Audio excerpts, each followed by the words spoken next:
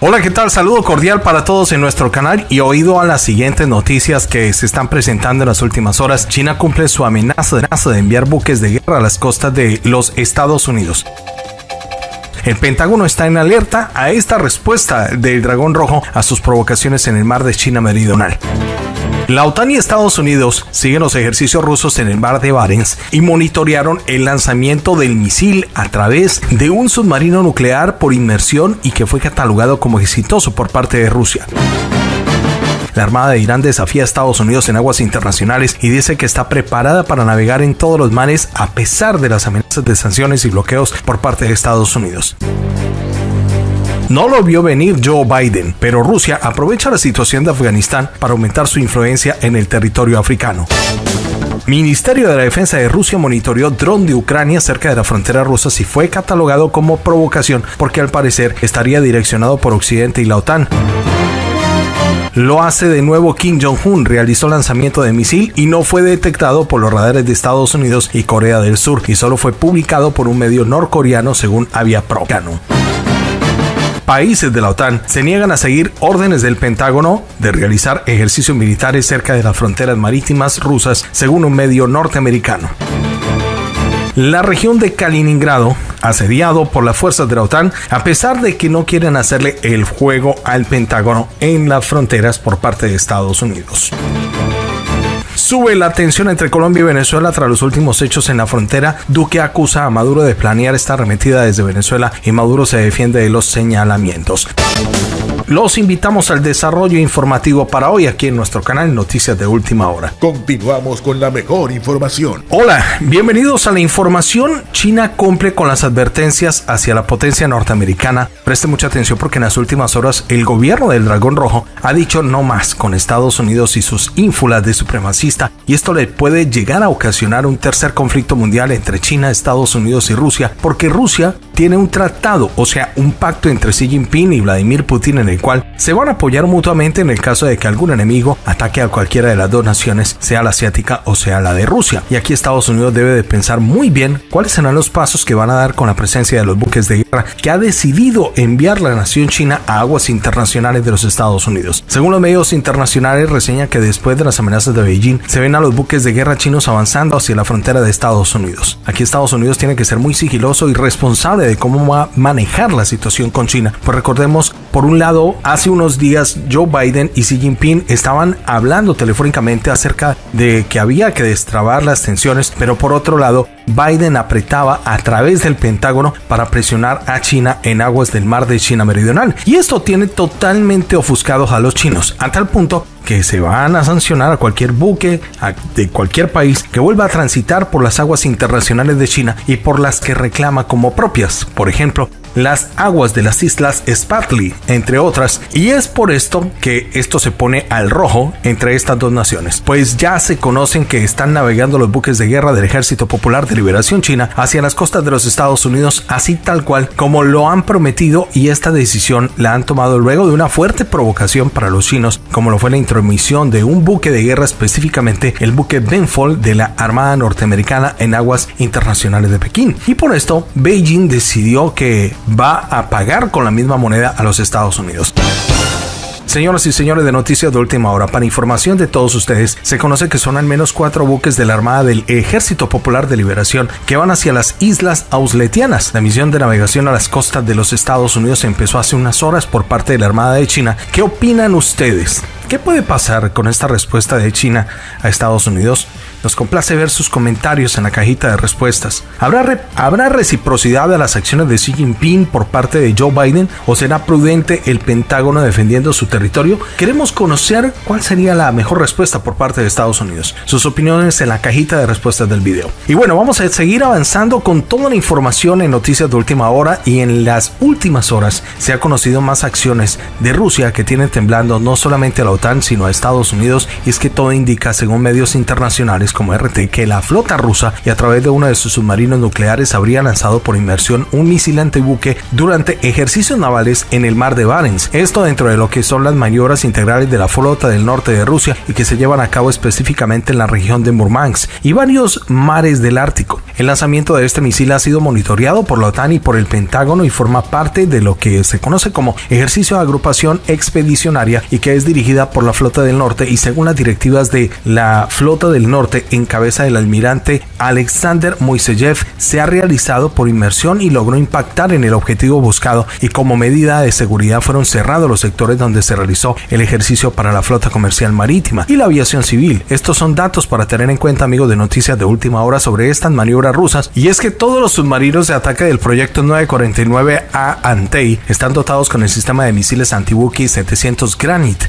También cuenta con este equipamiento el buque insignia de la flota del norte, el crucero de propulsión nuclear Priot Veliki, capaz de atacar a objetivos a una distancia mejorada de 500 kilómetros, superando las defensas antimisiles. Los ejercicios de la agrupación ártica de la flota del norte, la más fuerte de las cuatro flotas rusas, se llevan a cabo en los campos de entrenamiento en la región de Murmansk, así como en los mares de Barents y Kara y el mar de Laptev y en el archipiélago de la tierra de Francisco José. En las maniobras participan hasta 8.000 efectivos, alrededor de 800 unidades, equipo militar y especial, incluidos unos 40 tanques, 460 vehículos blindados de combate, hasta 240 cañones, morteros y sistemas de lanzamiento de cohetes múltiples, alrededor de 120 aviones, incluidos drones, así como hasta 50 buques y embarcaciones logísticas.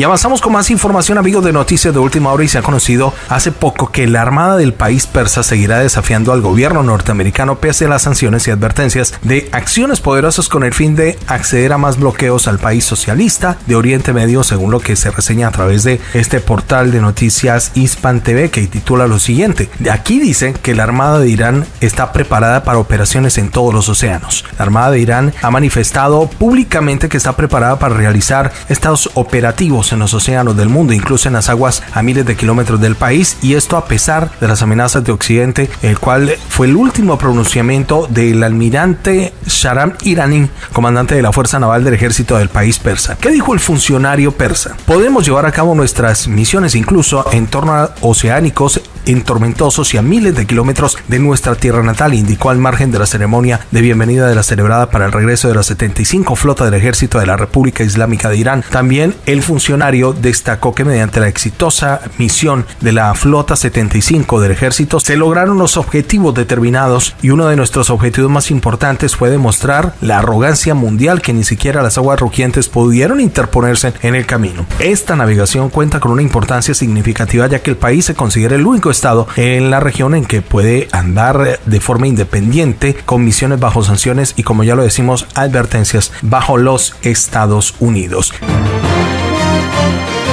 Señoras y señores, y los medios de Estados Unidos han comenzado a cambiar un poco la retórica en las últimas horas en favor del gobierno norteamericano, o más bien, pues mirándolo desde otro punto, no a favor del gobierno de Joe Biden. Y esto, coincidencia o no, viene sucediendo tras lo que aconteció en territorio afgano y presta mucha atención porque el medio Hispan TV dice que Rusia aumenta su influencia militar en África en desafío a Estados Unidos. O sea, ya ven que el enano se les creció y no queda de otra que hablar de lo que está sucediendo y es la pérdida de la hegemonía del gobierno de Estados Unidos a nivel mundial. Pero ¿qué dice este artículo de Hispan TV? Rusia está aumentando su influencia militar en África, desafiando a Estados Unidos y Francia. Según lo informa, aquí nombran la cadena estadounidense, la CNBC. En los últimos años, dice el relato, Moscú ha construido varias alianzas militares estratégicas claves en África, nombran a Libia, Nigeria, Etiopía y Malí. Aquí también esta nota que fue publicada por la CNBC el lunes dice que un aspecto fundamental de la estrategia que está utilizando Vladimir Putin es ofrecer eh, diferentes opciones a los países africanos, donde pues allí hay un bastante descontento por parte de la administración Biden, las asociaciones, como lo llaman diplomáticas occidentales. Asimismo, el país de Vladimir Putin, a través de la Organización de las Naciones Unidas, ha proporcionado ayuda alimentaria, económica y militar a este continente. En los últimos dos meses, Rusia ha firmado cuatro acuerdos de cooperación militar con Nigeria y Etiopía, las naciones más pobladas de África. Además, en el medio, su subrayan que el futuro cercano, Rusia acaba de firmar un acuerdo con la administración del presidente de Nigeria, Muhammad Buhari, para suministrar equipos militares, entrenamiento, tecnología y fuerzas nigerianas. Todo esto mientras que la segunda cumbre Rusia-África se lleva a cabo en el 2022. En la primera cumbre, en el 2019, el presidente Putin mostró la intención de su país de aumentar la cooperación con toda África. El texto también hace eco de un informe del Instituto Internacional de Investigación para la Paz de Estocolmo, y aquí, según el cual África en el 2016 y 2020 contó con el 18% de las exportaciones de armas rusas. También los expertos internacionales, dice el texto, que están opinando que la creciente influencia de Rusia en África ha inquietado en gran medida a los países occidentales y en concreto pues al país norteamericano, al gobierno de Joe Biden, pues su monopolio en este continente está siendo desafiado y esto significa que Washington deberá tomar contramedidas para mantener su existencia. En 2018,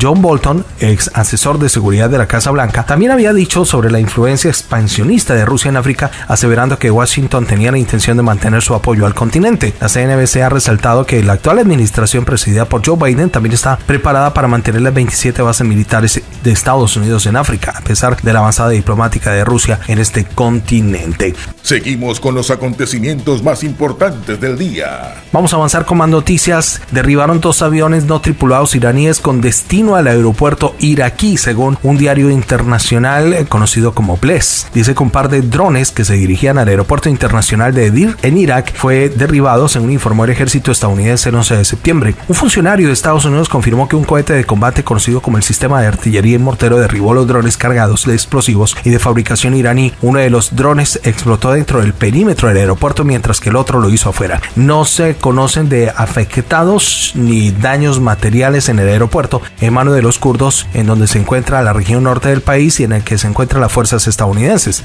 El coronel Wayne Maroto dijo en Twitter y quien es portavoz de la coalición, estos ataques ponen en peligro la vida de los civiles y de las fuerzas asociadas de las fuerzas de seguridad israelíes, los Peshmerga y la coalición, dijo el coronel Wayne Maroto. Este tipo de acciones han sido cada vez más frecuentes en los últimos meses, normalmente dirigido con tropas o intereses estadounidenses en todo Irak. Cambiamos de noticia, un dron estratégico estadounidense avistado cerca de Crimea. El día anterior, así como los días antes, se han descubierto vehículos aéreos no tripulados estratégicos de Estados Unidos cerca de las fronteras con Rusia. La provocación del ejército estadounidense se llevó a cabo cerca de Crimea y aparentemente puede estar asociada con la actividad rusa en el contexto de los ejercicios militares a gran escala de la OTAN. Se sabe que no hubo violación de la frontera rusa, más sin embargo, expertos dicen que las acciones de provocación de los Estados Unidos a veces conducen al hecho de que el acercamiento a la frontera del espacio aéreo ruso es crítico. Como se desprende de datos presentados por medios internacionales como Avia.pro, dice vehículo aéreo no tripulado de reconocimiento estratégico RQ-4B Global Hawk apareció cerca de las costas de Crimea alrededor de las 9 de la mañana y el dron despegó de una base aérea de la isla de Creta y al parecer completó con éxito su misión, ya que los cazas de las fuerzas aeroespaciales rusas no se levantaron para interceptarlo. Según el experto ruso Yuri Knutov, la mayor actividad de la OTAN cerca de la frontera rusa se está relacionada precisamente con el ejercicio militar de West 2021, porque en estos momentos también se están probando los sistemas de defensa aéreo rusos, incluida la defensa S-400, sistemas sobre los cuales Estados Unidos en primer lugar está tratando de recopilar información. El Pentágono está tratando de recopilar información de inteligencia de cualquier forma, incluso sobre los sistemas de defensa aéreo rusos S-400. El vuelo del dron estadounidense es una provocación diseñada para demostrar la determinación de las acciones estadounidenses, dijo Nutov. El Ministerio de la Defensa no se ha referido al caso en mención.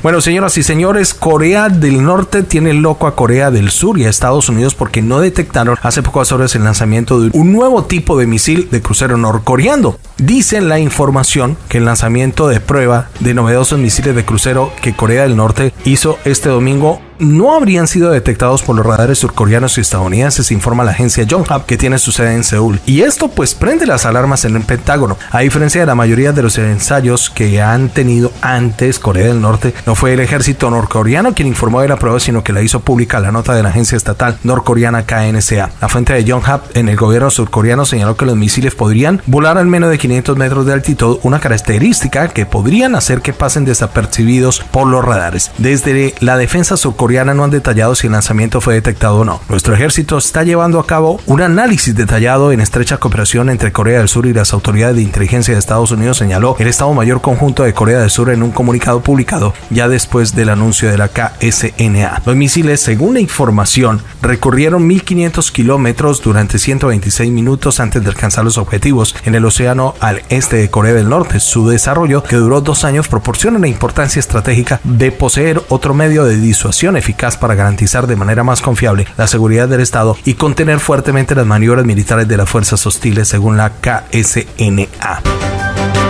Los países de la OTAN respondieron a Estados Unidos negándose a exigir la realización de ejercicios militares cerca de la frontera rusas. Varios países de la OTAN se negaron a realizar ejercicios militares provocativos cerca de las fronteras de la región de Kaliningrado, a pesar de las demandas de Washington. Algunos representantes de la Alianza del Atlántico Norte, las acciones de provocación no solamente van a mejorar las relaciones con Rusia, sino que también crearán una amenaza adicional para el propio bloque militar. Se sabe que países como Alemania, Dinamarca, Bélgica y Francia la rechazaron la oferta de ser socios militares estadounidenses. Además, la razón es la falta de conveniencia de tales maniobras. Este comportamiento de los socios europeos de los Estados Unidos en la TAN emocionó a los medios estadounidenses contra los cuales los países europeos fueron amenazados en absoluto con la negativa de Estados Unidos para una mayor protección. Pero ¿por qué las fuerzas aéreas de Bélgica, Dinamarca, Francia y Alemania no están llevando a cabo las operaciones militares importantes cerca de la zona de intereses rusos, es decir, cerca de la región de Kaliningrado, ubicada en el mar Báltico y los estados miembros de la OTAN? Polonia y Lituania, Kaliningrado es esencialmente un bastión militar ruso. Los aviones militares rusos que despegan en la región de Kaliningrado prueban regularmente los sistemas de defensa aérea de la OTAN y a veces con bastante éxito. Pero la pregunta permanece abierta. ¿Por qué los miembros de esta alianza no están desplegando sus fuerzas? Dijo el material del el portal Washington Examiner. También aquí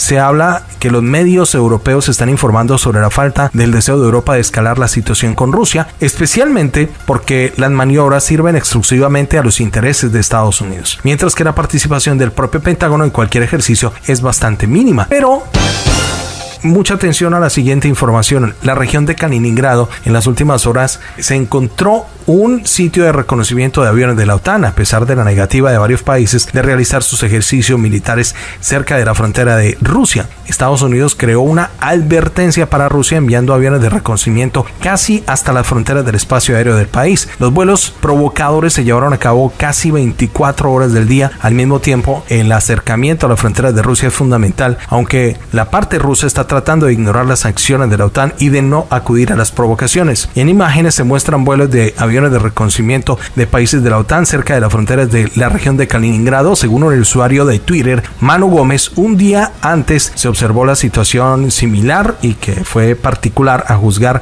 de la densidad de vuelos. Se puede afirmar que la región de Kaliningrado está literalmente sitiada, aunque las fronteras de Rusia no han sido violadas. Eh, también se está observando una situación similar cerca de la frontera de Rusia. Entonces, desde allí, dicen los expertos, desde la base aérea en Suecia, el avión de reconocimiento se elevó hacia el cielo que comenzó a patrullar el espacio aéreo sobre el mar Báltico. Además, dos aviones de reconocimiento de la Fuerza Aérea de los Estados Unidos están operando en el espacio aéreo de la vecina Lituania y un avión de reconocimiento electrónico RC-135 se ha trasladado desde una base aérea de Reino Unido hacia la frontera rusa. Dada la situación actual, es probable que el ejército ruso comience a utilizar contramedidas electrónicas. Esto obligaría a la OTAN a abandonar nuevas provocaciones, especialmente desde que se prevé el uso de equipos de guerra electrónica en los ejercicios Zapad 2021. De no hacerlo, esto podría escalar de nivel a un conflicto o a una tercera guerra mundial, que Dios no lo quiera. Nunca jamás suceda en el mundo.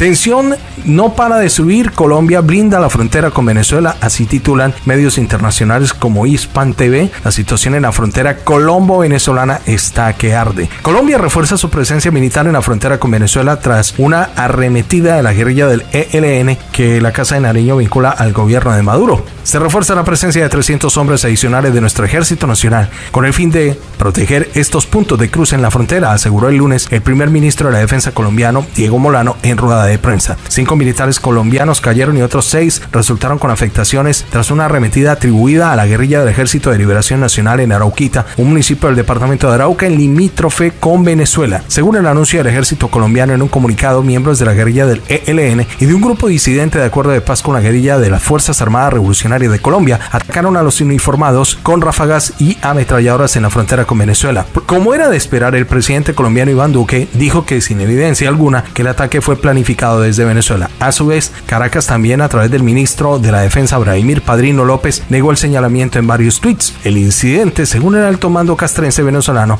es otro intento desesperado de Bogotá de recurrir a falsos positivos para torpedear la mesa de diálogo en México entre el gobierno de Venezuela y la oposición. Recordemos que el martes pasado Nicolás Maduro denunció por su parte que el gobierno de Colombia busca crear provocaciones que genere la reacción de Caracas y se rompa el diálogo intervenezolano. Las relaciones entre Colombia y Venezuela se deterioran cada vez más por diversos asuntos, como lo ocurrido a principios de mayo del 2020 cuando el gobierno venezolano denunció haber desarticulado un intento de ataque que vía marítima de parte de Washington y Bogotá para ir por Nicolás Maduro. En un fuego cruzado de acusaciones, Bogotá asegura que Venezuela protege la disidencia guerrillera y que desde allí ordenan atentados contra la población, las fuerzas de seguridad del Estado, entre otras acciones, mientras que Caracas acusa a Colombia de entrenar mercenarios y terroristas para ingresar a Venezuela con la misión de derrocar a Nicolás Maduro de el poder. Llegamos a la parte final de información, amigos. Si creen que tiene utilidad este contenido, por favor nos acompañen con la manito arriba si son nuevos, suscríbase a nuestro canal, active la campanita roja de notificaciones para que sea el primero en que le llegue la notificación y esté informado a través de nuestras noticias en el canal Noticias de Última Hora. Y bueno, muchísimas gracias a todos ustedes. Nos escuchamos en el próximo video. Bendiciones para todos. Un abrazo rompecostillas. Gracias por su apoyo y gracias por llegar hasta esta parte del video. Saludos a toda América Latina, Norteamérica y a toda la gente en el mundo que nos ve. Dios les bendiga.